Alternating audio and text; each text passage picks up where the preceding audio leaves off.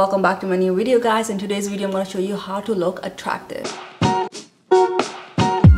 Hey guys, hope you guys are doing well. My name is Faiza Inam and welcome back to my new video. If you guys are new, welcome and welcome. If you guys don't know me, I'm a fashion, beauty and lifestyle blogger. I post on YouTube weekly and I also do Instagram and TikTok as well. So make sure to check out my other channels and make sure to subscribe to this channel as well. In today's video, I'm going to show you how to look instantly attractive without having to put too much effort in the morning. I'm going to show you how to go from 0 to 10. Well, let's take that back. I'm going to show you how to go from 0 to a 1000 and make you look as good as possible in the morning again without having to put too much effort i'm a very very lazy person and i hate getting up in the morning i'm not a morning person and i remember back in my college university days I used to just get up, throw water on my face and I would just leave the house like that. Hated getting ready. I just didn't want to put too much effort and that was always, always me. Fast forward now, over the last few years, I put a lot of effort into just learning uh, what looks better on me and what doesn't and I just wanted to share all of those tips and tricks with you guys. So the very first thing that I wanted to share with you guys is that when you guys wake up in the morning you don't want to walk out with that face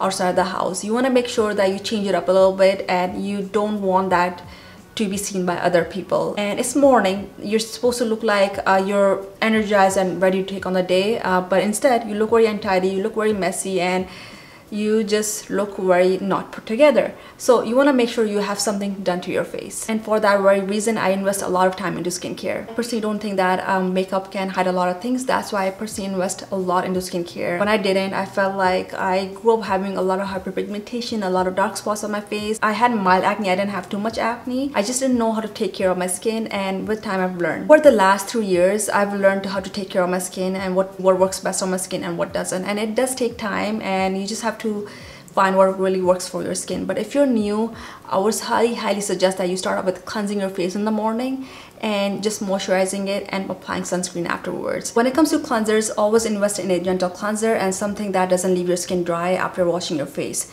so the two cleansers that i highly highly wanted to suggest are uh, the first one is by First Aid Beauty. It's a gentle cleanser, very very gentle on your skin. It doesn't leave your skin dry and it just feels very very soothing and very hydrating um, after I cleanse my face, which is very very important for a cleanser. The next gentle cleanser that I want you to suggest is the one by Ren Skincare. It's a gentle cleansing milk and again you want to make sure that you have a cleanser that leaves your skin very um, hydrated and very plump in the morning and this one feels really really good um, in the morning. These are my go-to um, cleansers that I have for the morning and I absolutely love using those. And moving on to a moisturizer, you want to make sure that you are using a very very good moisturizer uh, throughout the day, something that keeps your skin moisturized authorized throughout the day and you don't have to reapply it. And again, I'm going to be leaving the link for this in the description box below. And that was part number one, which is using a cleanser and a moisturizer for your skin. Let's move on to part number two. For part number two, I want you to dedicate a separate part just for sunscreen because I don't think a lot of people realize how important sunscreen is. So the, one of the first reasons why you get a lot of uh, dark spots or hyperpigmentation is genetics and and uh, one of the other factors which is one of the most important factors is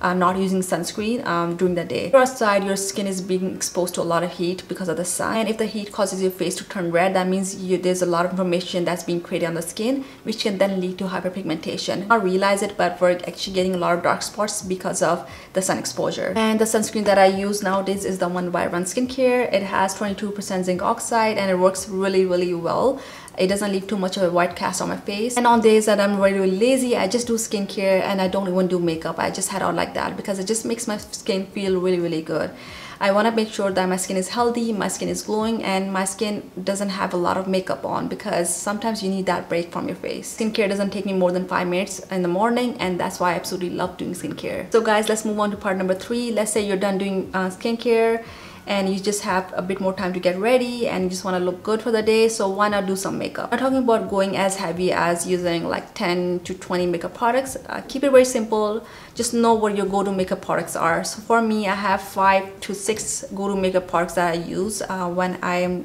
getting ready very quickly and I just don't want to put on too much makeup. For me guys, a lightweight foundation is key. Other than that, I love using a good mascara. Sometimes I do a liquid eyeliner and sometimes I skip it. It's up to you guys I always apply on a lipstick or a lip gloss and I always do blush and other than that I do my eyebrows because my eyebrows are very very ugly if I don't do that. Moving on to part number four is to always do your eyebrows. Personally I have to do my eyebrows because if I don't um, they look very very ugly they look very very messy. I always always uh, do my eyebrows in the morning even if I'm not doing makeup mainly because I have uneven eyebrows. They both have different shapes and that's something that I struggle with. I want to make sure that I'm at least filling in some of the visible space or spots that I have on my eyebrows just to make them look very even and I just do that in the morning just to uh, make them look good and I always fill it in using an eyebrow pencil. Tip number five would be to always do your hair. Don't ever walk out with messy dirty hair. They just look really really bad. Again I've been through that. I've done it. It does not look good. So my tip on having good hair is to uh, always blow dry your hair after washing them. Blow drying gives me a lot of space uh, to style my hair um, because it keeps my hair voluminous. It keeps it very bouncy. It gives a lot of detail to my hair. Whatever style I go with after blow drying my hair, it'll last me up to two to three days. After that, it'll start getting a little dirty because there's a lot of buildup in there. That's when I start uh, tying my hair. So guys I end up doing a low bun. I used to do a high bun when I had longer hair. I just prefer doing a low bun now and that low bun will last me till the next time I wash my hair. Moving on to part number six would be to always have your go-to essential clothes. I'm a person who grew up spending a lot of money, like a lot of money on trends and on things that were on sale and I would just buy them and just never ever use them again. And I would buy a lot of things on trends and although I thought they looked good on me, those weren't the type of things that you would just wear every day. Always, always have your go-to essential clothes. So for me, I have like two, three pair of jeans that I love wearing all the time. Other than that, I have my go-to t-shirts. I also have my dress shirts. I don't have more than five, six of them. So when I'm in a hurry and I have to get dressed up and I don't have time to get ready, I always pick those pieces because I know they'll make me look good and I don't have to put a lot of effort into picking out what I want to wear and they just make me look good and they make me feel good as well. So other than my jeans and other than my tops, I also have my go-to blazers. I have like two, three that I wear all the time and I also have my go-to coats and go-to shoes as well. Those are the ones that I wear at all times. And I always wear them because they're my go-to and they just make me look good without spending too much time in my closet. I always always uh, wear them when I can't choose what I want to wear and they'll still make you look really good without putting too much effort. Moving on to part number seven would be to have your go-to accessories or your jewelry. I always have my go-to jewelry at one place and I always use those pieces on rotate. For example I wear these studs at all times and other than that I have like the three other pairs of earrings that I wear on rotate and that goes for my necklaces and chokers as well. If I don't have time I'll just put on this necklace that I wear at all times and I have one other necklace that I switch between this and that. And guys I also love wearing my necklaces. I have some chokers and I have some chunky uh, chain necklaces that I wear all the time as well. And all you have to do is put on a t-shirt and layer your necklaces. And it just makes me look like I have put on a lot of effort into getting ready when all I did was just layer the necklaces. And it just makes me look very put together and makes me look very extra. And that's why I love love layering necklaces. Last but not least is to always always have your breakfast because it will energize you for the morning and for the day as well. I'm a person that used to skip breakfast a lot of times and I still do sometimes and whenever I do I always end up having a bad day. One thing I've learned about having quick breakfast is to always have your go-to meals. For example, if you know a protein bar will keep you full in the morning, go ahead and have a protein bar. If you know a croissant will um, fill you up for the next two, three hours, go ahead and have a croissant. So just go ahead and have your go-to meals ready in the morning because they will fill you up. So if I have a bit more of a time on preparing my breakfast, then I'll just go for an instant oatmeal or I'll go for a scrambled egg, whichever I prefer for the day. Overall, never skip your breakfast because it's not healthy for you guys. Guys, this is it. Uh, thank you so much for watching the video. I hope you were able to learn how to instantly get ready in the morning.